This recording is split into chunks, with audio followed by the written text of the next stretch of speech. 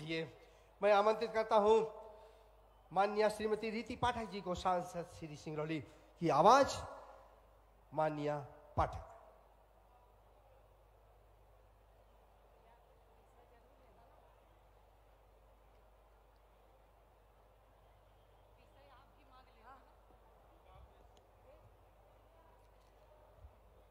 हम सब के लिए सौभाग्य का विषय है। प्रदेश के मुखिया हमारे भैया। हमारे बच्चों के मामा, हमारे बुज़ुर्गों के श्रवण कुमार, हमारे बहनों के भाई, जिनके बिना बहुत कम समय में ये पूरा मध्य प्रदेश सुना हो गया, आज सिंगरौली ज़िले के लिए और खासकर हमारे चितरंगी विधानसभा के लिए अत्यंत सौभाग्य का विषय है कि हमारे ऐसे भैया जो प्रदेश के मुखिया के रूप में हम सब का लालन पालन कर रहे हैं, आज उनकी उपस्थिति हम सब के बीच में है। आदरणीय शिवराज सिंह चौहान जी, यहाँ पर उपस्थित है। जल जीवन है, इस बात को चरितार्थ करने के लिए जिन्हें ज़िम्मेदारी दी गई है, हमारे मध्य प्रदेश के पीएचई मंत्री, पीएचई राज्य मंत्री भैया ब्रजेंद्र प्रताप सिंह जी ब्रजेंद्र प्रताप यादव जी, यहाँ पर उपस्थित राज्यसभा के सम्मानीय सांसद भाई साहब अजय प्रताप सिंह जी, हमारे प्रदेश के सम्मानीय उपाध्यक्ष आदरणीय कांति देव सिंह जी सिंगरौली विधानसभा क्षेत्र के सम्मानीय वरिष्ठ हमारे विधायक रामलल्लू बैसे जी, हमारे स्थानीय विधायक जिन्होंने भरपूर मांगे आप सबके समक्ष रखी चूँकि मेरे पास समय बहुत कम है, इसलिए मैं बहुत जल्दी जल्दी अपनी बात को रख रही हूँ।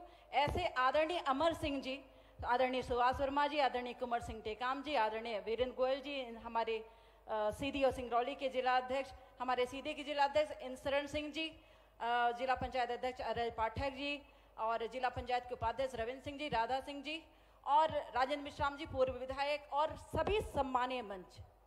हमारा, हमारे भारतीय जनता पार्टी के समस्त पदाधिकारीगण, हमारे कार्यकर्तागण, जिला प्रशासन के समस्त मुखिया भोपाल से पधारे हुए यहाँ पर हमारे सभी अधिकारी जिनके सहयोग के बिना कोई भी कार्यक्रम संभव नहीं है।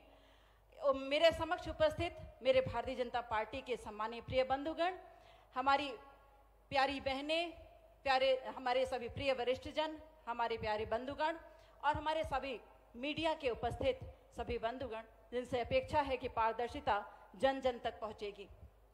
आज का ये कार्यक्रम आदरणीय भैया की उपस्थिति का कार्यक्रम है। उनके सिर्फ़ उपस्थिति ही नहीं होती, अभी आदरणीय विधायक जी ने ढेरों मांगे यहाँ पर रखी आदरणीय भैया। मैं अपने आप को उन मांगों से संबद्ध करती हूँ। एक एक मांगों को दोहराना तो मेरे लिए बहुत कठिन है।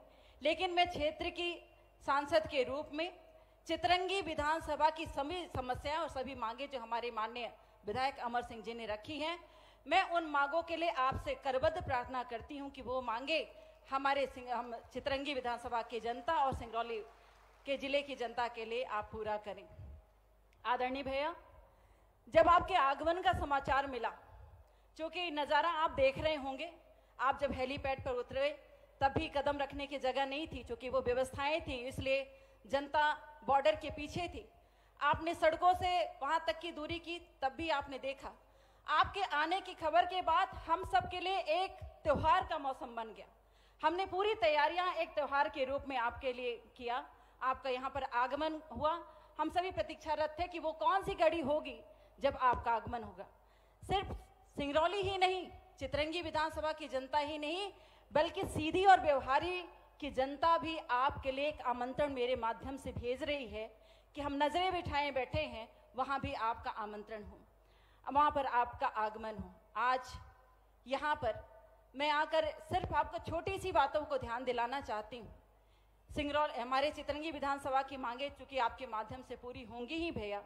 सिंगरौली ज़िले के आदरणीय विधायक जी ने, रामलल्लू वैसे जी ने भी इस बात को रखा था कि माइनिंग इंजीनियरिंग कॉलेज सिर्फ़ मैं आपके लिए उसे याद दिलाने का प्रयास कर रही हूँ। हमारे देवसर में एक ऑक्सीजन प्लांट की व्यवस्था हो जाए।